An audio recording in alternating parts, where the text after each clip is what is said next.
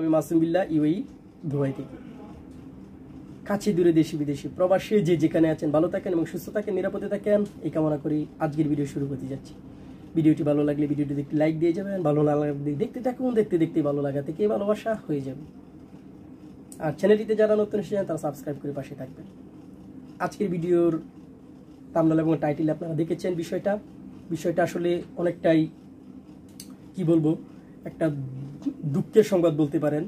কারণ হচ্ছে যে আরব আমিরাতে প্রায় তিন হাজারের উপরে প্রবাসী রয়েছেন, তারা আটকা পড়ে রয়েছে, আটকা পড়ে গিয়েছে অলরেডি আর সেটার একমাত্র কারণ হচ্ছে যে কুয়েত প্রবাসী তারা তারা কিন্তু কুয়েত প্রবাসী। আমার চোখের সামনেই দেখা, গত পনেরো বিশ দিন আগে হবে, কিছু লোক এসেছিল এই দেশে। পনেরো বিশ দিন বারো থেকে তেরো দিন হবে তারা এই দেশে এসেছিল। তারা ট্রানজিট নিয়ে এসেছে, কারণ অনেক ডাইরেক্ট কুয়েতে যাওয়াটা সম্ভব না, তাই তারা দুবাই থেকে কুয়েত যাবে। এই জন্য তারা অনেকেই দুবাই চলে এসেছেন এবং চোদ্দ দিন কোয়ারেন্টাইনে থাকার পর তারা কুয়েত চলে যাবে। কিন্তু কুয়েত আর, কুয়েতের সরকার হঠাৎ করে তারা সমস্ত রকমের আন্তর্জাতিক ফ্লাইট বাতিল করে দিয়েছেন, আপনারা সেটা জানেন।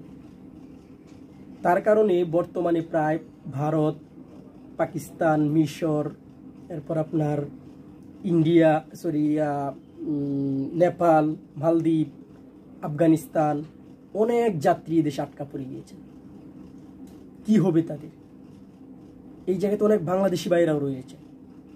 প্রায় দুই লাখ, তিন, দুই লাখ আড়াই লক্ষ টাকা কন্ট্রাক্ট করে দেশে এসেছেন যেই দেশ থেকে আবার কুয়েতে পুষবেন নয়তো তাদের চাকরি থাকবে না, নয়তো আকামার মেয়াদ শেষ হয়ে যাচ্ছে। তো আজকে কি হবে এই প্রবাসীদের? এই যে আজকে তারা গিয়ে আটকা পড়েছে, এই যে ফ্লাইট বন্ধ করে দিয়েছেন। আসলে কি বলব, আমরা প্রবাসীদের ভাগ্যটাই খারাপ। আসলে আমি যখন গতকালকে গ্রুস গতকাল, গতকালকে হ্যাঁ গতকালকে তো আমি যখন গ্রোসারিতে গিয়েছিলাম বাজার করার জন্য, তখন ওই জায়গাতে তিনজন কুয়েত প্রবাসী, তারা তাদের সাথে কথা হয়। তাদের চোখের দিকে যখন আমি তাকালাম, আমার নিজেরই অশ্রু চলে আসছে।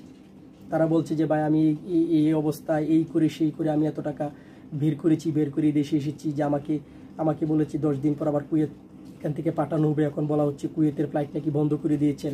আমি কি করব? সে কান্না করছে। সে কান্না করছে। তার কান্না দেখে আমারও কান্না চলে এসেছে। কারণ আমরা, আমি তো একজন প্রবাসী না, তাই আমি কি বলব? মানে আমার এখনও তার এখনও তার ওই যে, এই দুইটা লোকের কথা মানে তিনটা লোকের কথা আমার এখনও চোখে বাসছে তারা কান্না করছে। তারা বলছে যে আমরা কীভাবে যাব, আমরা কি করব, আমরা এখন কি অবস্থা করব বা আমাদের ভবিষ্যৎ কি, আমরা বাড়ি থেকে ঋণ করে টাকা নিয়ে এখন টিকিট করেছি, এখন যেতে পারব না, বলছে ফ্লাইট বন্ধ করে দিয়েছেন। তখন আমি কি বলব? আমি বললাম যে, ভাই, দেখেন, ধৈর্য ধরেন, আল্লাহর কাছে ছান আল্লাহর কাছে, আল্লাহ একটা ব্যবস্থা করে দিবে। যেহেতু আপনাদের এখনও দশ বারো দিন টাইম রয়েছেন, আর আরও কুয়েত সরকার তো নির্দিষ্ট কোনো টাইম দেয় না যেহেতু দিন বন্ধ থাকবে কুয়েত এয়ারপোর্ট বর্তমানে খোলা রয়েছে কুয়েত এয়ারপোর্ট, শুধু কুয়েতের নাগরিকদের জন্য। তো তাদেরকে বাস আমি এতটুকুই বললাম যে আপনারা ধৈর্য ধরেন, ইনশাল্লাহ। হয়তো ভালো একটা সুখবর আসতে পারে যদি আপনারা সাতাশটা দিনের ভিতরে আবার ফ্লাইট খুলেও দিতে পারে। আসলে দেখুন, এই ভিডিওটা শেয়ার করার উদ্দেশ্য হচ্ছে এইটাই যে যারা প্রবাসী রয়েছে, আমরা প্রবাসীরা বর্তমানে যে করোনা ভাইরাসের যে একটা সমস্যা গিয়েছে, সেই সমস্যার কারণে কিন্তু আমরা আসলে অনেক মানুষ অনেক অনেক কিছু হারিয়ে ফেলেছি। অনেক কিছুই হারিয়ে ফেলেছি অনেক মানুষ।